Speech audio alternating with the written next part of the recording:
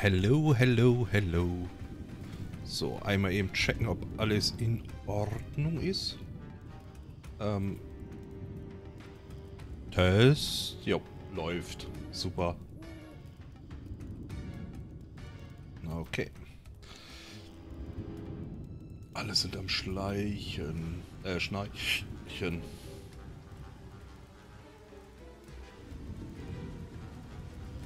Super.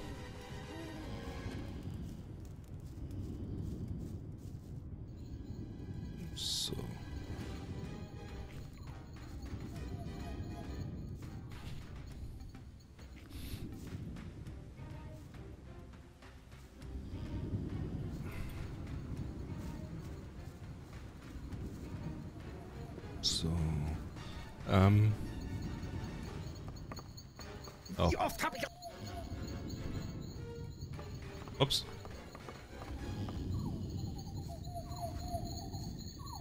So. Gestern haben wir festgestellt, ich brauche noch einen Apfel. Also werden wir das mal machen. Irgendwie versuchen, noch einen Apfel zu kriegen.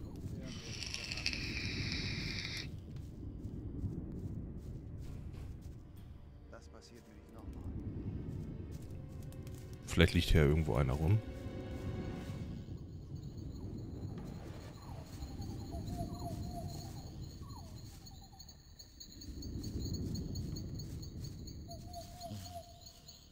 Hm.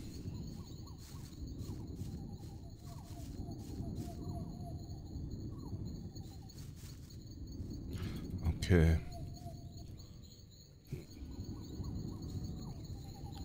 So, tagsüber wir besser laufen können. So.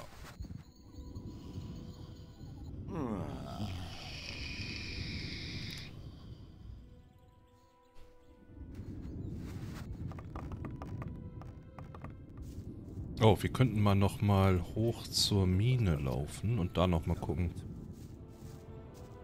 Das wäre noch eine Idee, ja.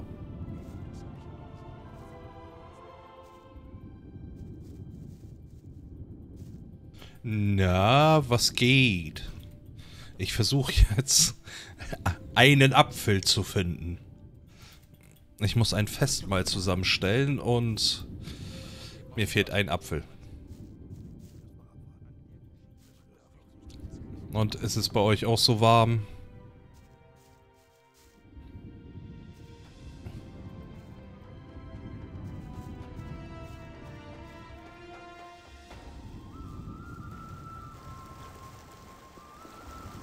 Oh.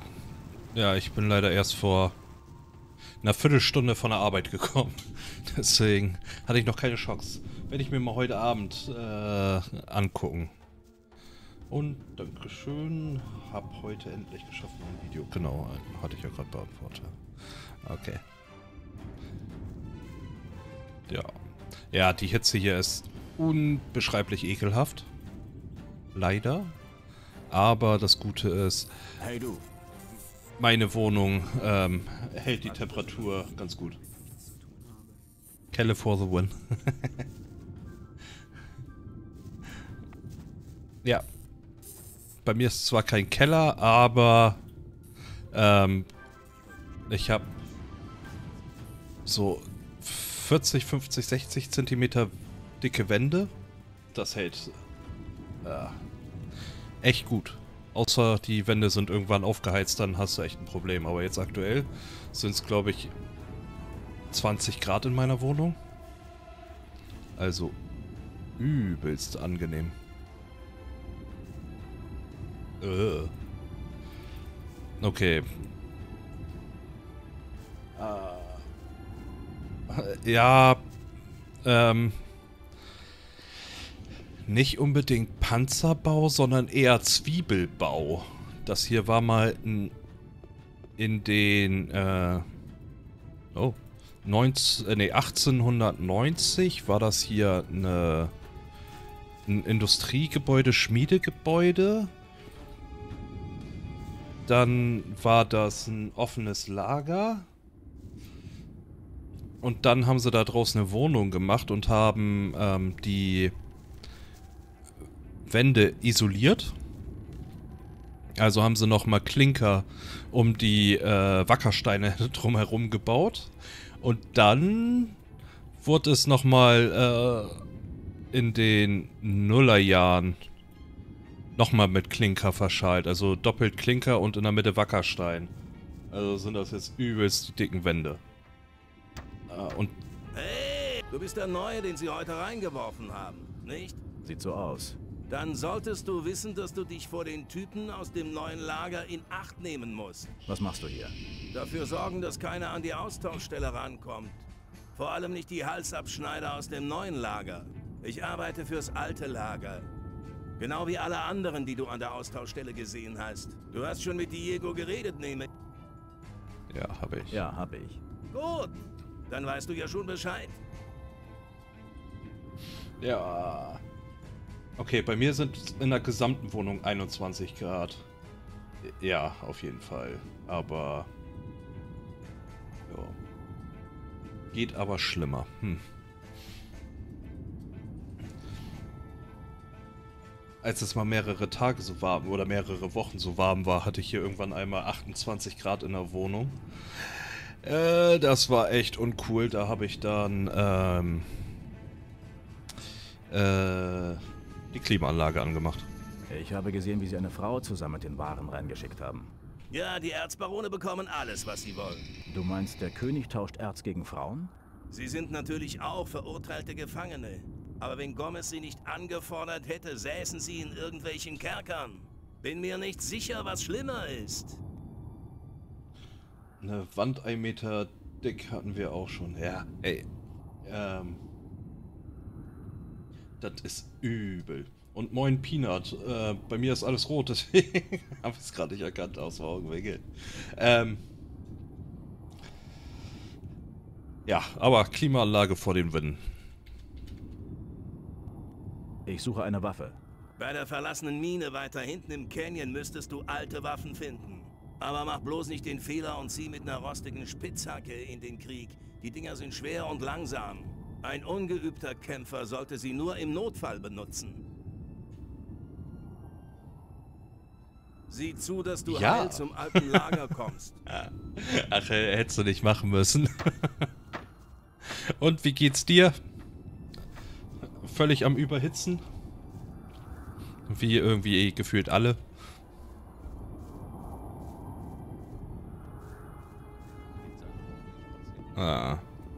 Und morgen soll's noch schlimmer werden. Verschwinde, sonst brennt. Oh, sorry. Verschwinde, verschwinde, sonst. Das Beste war aber heute eben mit dem Motorrad nochmal eine äh, halbe Stunde durch die Gegend gefahren und e- einmal abgekühlt.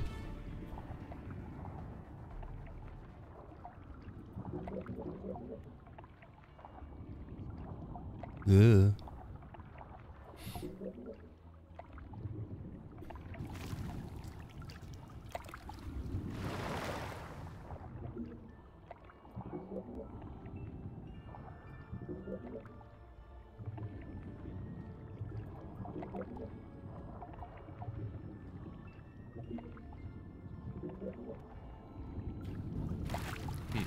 Schade.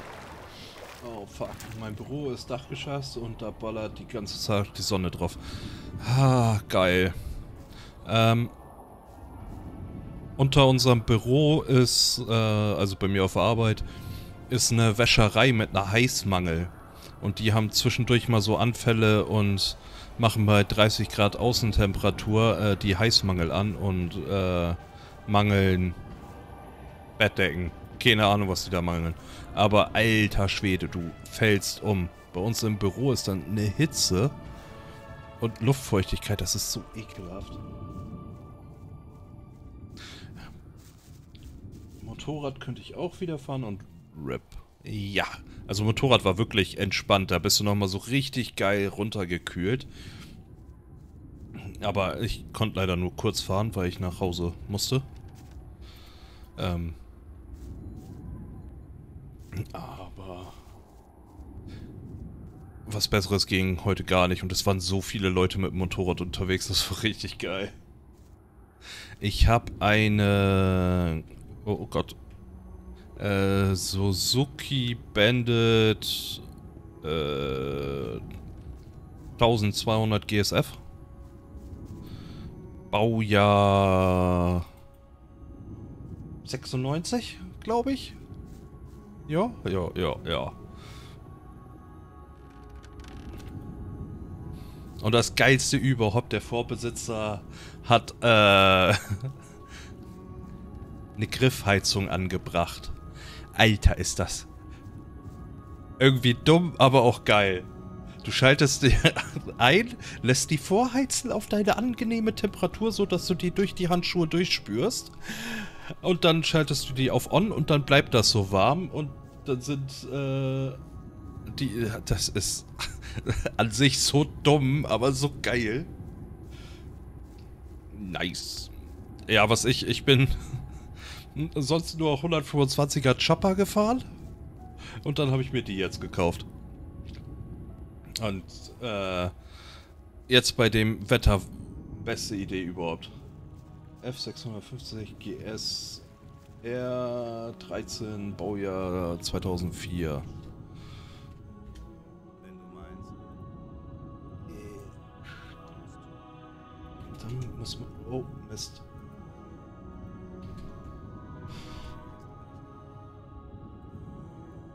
BJ 2004.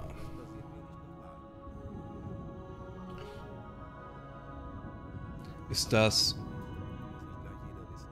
Das hat so ein bisschen was von einer Crosser, oder?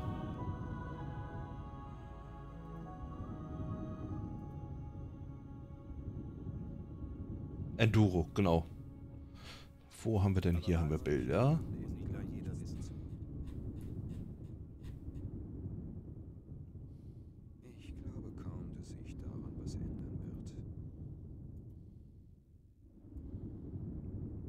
Das ist meine.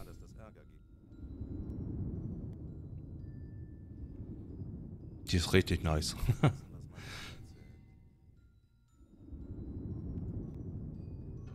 Jo. Aber ähm, was für ein krasser Unterschied das ist. Äh, und wie hardcore man sich umgewöhnen muss. Ähm, bei der 125er, die ich gefahren bin, mit meiner Körpergröße, Statur und Gewicht, hast du die Gashahn halt voll durchgezogen, damit du mit Mops Geschwindigkeit nach vorne gefahren bist. So, keine Ahnung, lass mich lügen. Du hattest eine Beschleunigung von 5 km/h oder so. Also von 0 auf 100 in einer Dreiviertelstunde. Ähm, ja. Und jetzt mit der.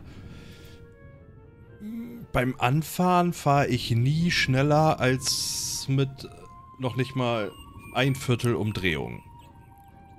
Also, äh, hier den Gashahn. Weil das ist. Ich hab äh, unabsichtliche Wheelies gemacht, weil ich zu viel Gas gegeben habe. Also, das, das war echt. Oh, da ist meine Pumpe bis zum Geht nicht mehr gegangen. Bin auch 125er gefahren, eine Suzuki DR. Ja.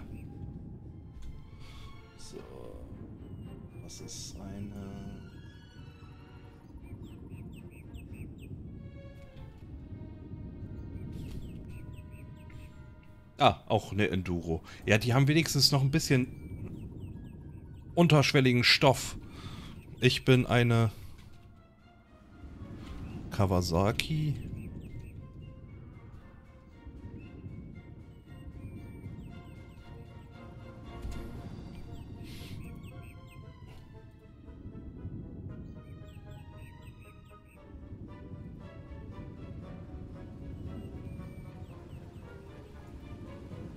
Moment.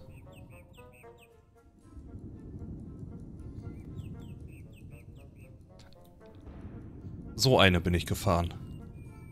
Aber das ist noch die große. Ich habe die kleine davon gefahren. Eine 125er. Obwohl, das ist die 125er. Ja. Das war nicht feierlich. Die hatte auch 11 PS oder 13, irgendwie sowas. Und ähm, Wenn ich mich aufgerichtet habe, hat die 10 km/h Topspeed verloren. Also so eine war das.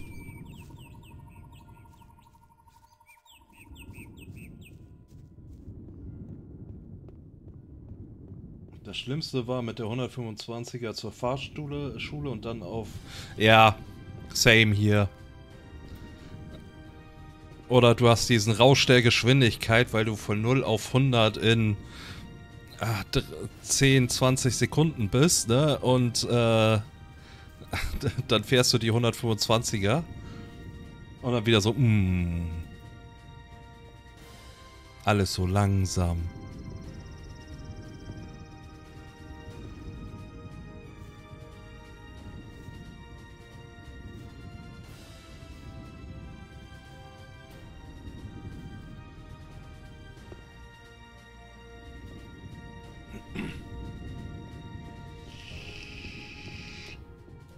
Ja, auf jeden.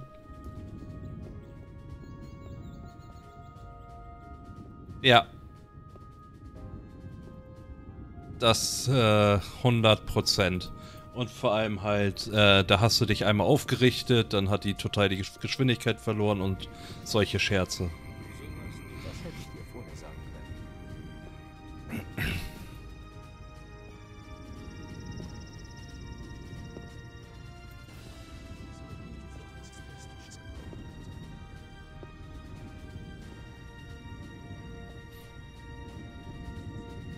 Aber was ich auch sagen kann, ist, ähm, bei dem Wetter mit dem Fahrrad zu fahren, mit dem E-Bike, ist auch geil.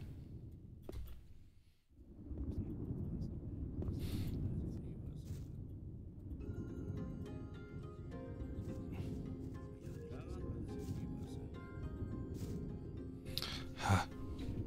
Muss ich ja immer gucken.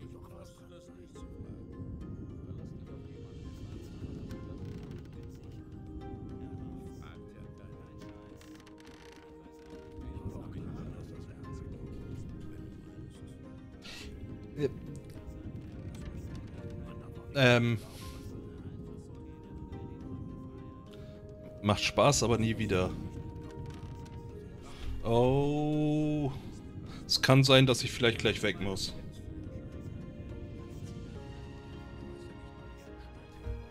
Kleinen Moment.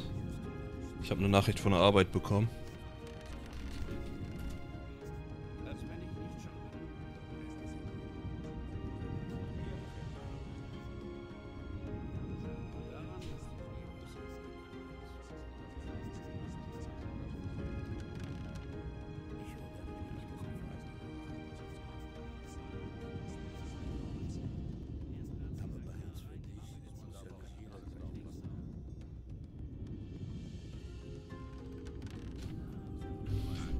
Okay.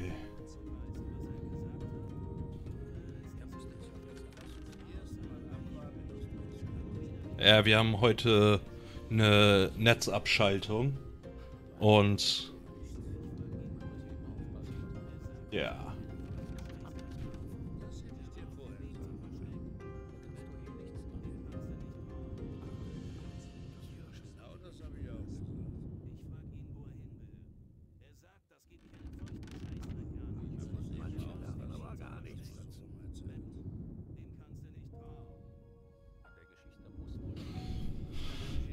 Ja, eigentlich sollte alles laufen, aber der Kollege schrieb gerade, läuft nix. Es war herrlich. Es war zwar dunkel, aber Und das wäre sehr problematisch. Kein Scheiß. Ich weiß auch nicht, wie er das angestellt hat. No Apple. Es war zwar dunkel, aber ich bin sicher. Er war. Ich will was trinken. Dann musst Auf einmal greift er in den Topf mit dem Reis und sagt, Lass uns handeln. ist das Bier wirklich hier drin? Und verbrennt sich die Finger, dass er schreit.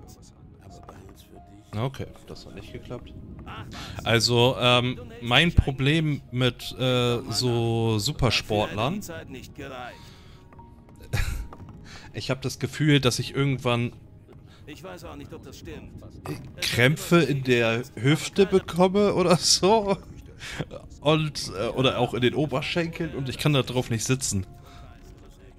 Das ist übelst unangenehm auf Dauer irgendwann.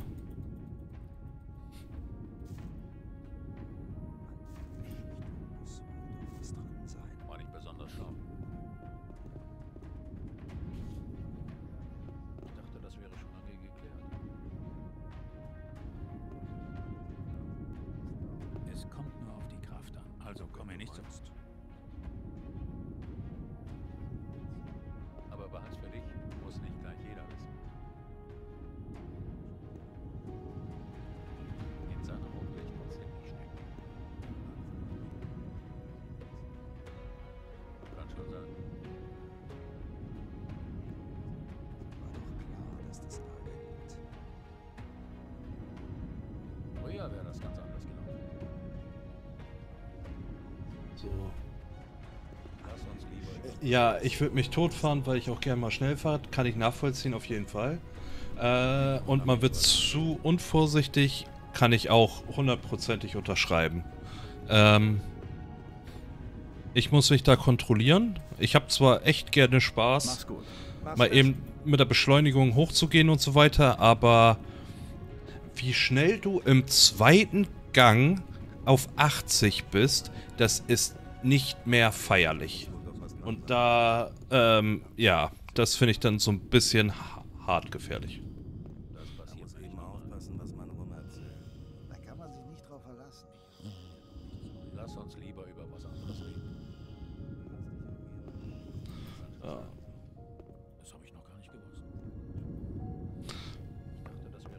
Muss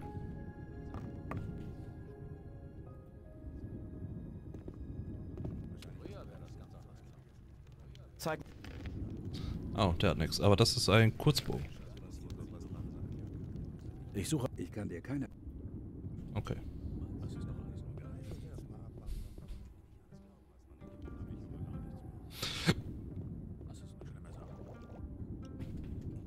Butch. Hi, wer bist du? Das geht dich einen Dreck an. Deine Fresse gefällt mir nicht. Mal sehen, wer... Netter Kampf. Beim nächsten Mal bringe ich dich um! Äh, Du hast bestimmt nichts dagegen, wenn ich etwas Erz behalte. Er musste es verbessern. Ich dachte, das wäre nicht. Du hast das nicht gewusst. Aber bei einer Haut ich Das war kein Das ist wirklich nicht mein Problem. das wäre schon lange geklärt. Das war kein Klar, dass das Also komm mir nicht. Mano.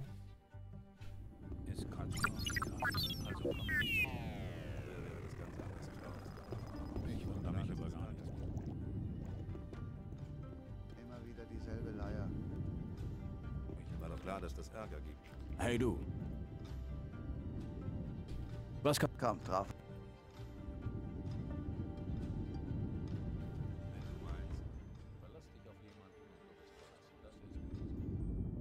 Okay, ähm, ich bin mal eben offline. Vielleicht komme ich nachher wieder online. Ich muss jetzt dringend in die Firma fahren. Ähm, tut mir leid für die Umstände. Äh, Ich glaube, das wird kein Spaß. Wir sehen uns gleich wieder. Also, bis gleich. Vielleicht, hoffe ich. bis gleich.